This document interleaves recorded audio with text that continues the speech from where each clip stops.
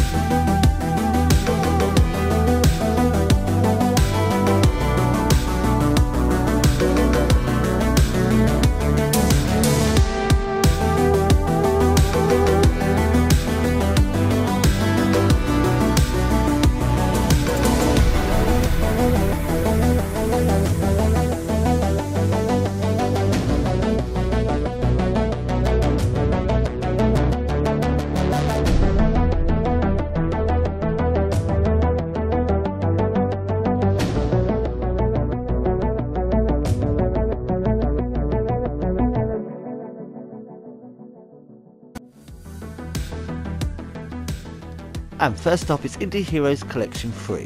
You know this series of carts are really becoming one of the highlights of the Evercade year. We get to sample a game a month all year round and get them all in a box set at the start of the next with bonus content thrown in. There's quite a few of these I can't wait to revisit. I got a bit behind on some of the reviews didn't I? so we'll be able to finally finish them.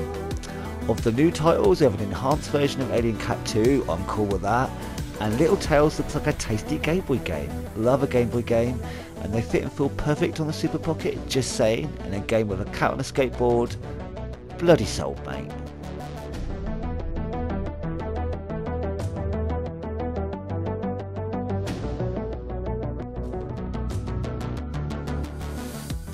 And finally we have the third C64 collection. Though this car isn't blowing me away overall, it does look to have a couple of sequels to games I dug in the previous collections. And and but most importantly of all, We've only got Boulder fucking Dash, baby. Don't care what else is on there. It's enough for me. Boulder Dash, my Mila, I'm happy. Praise be to Blaze.